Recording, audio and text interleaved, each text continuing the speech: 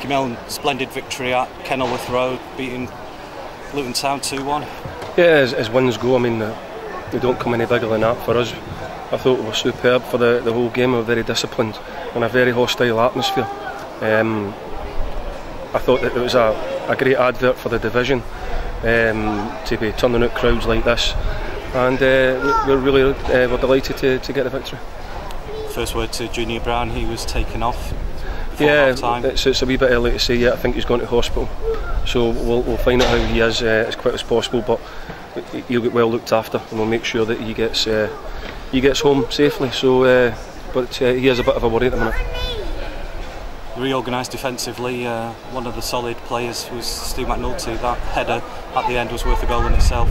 Oh yeah, I mean, I, I thought all over the pitch it would be it would be wrong of me to uh, to pick out any individuals because I thought as a, as a team we showed a lot of grit and a lot of determination in a very hostile uh, environment. It's probably as hostile as I've ever I've ever had it since I've been at Fleetwood. I've got to be honest, and my players answered a lot of questions today and stuck stuck to their task, and uh, we got a, a fantastic victory.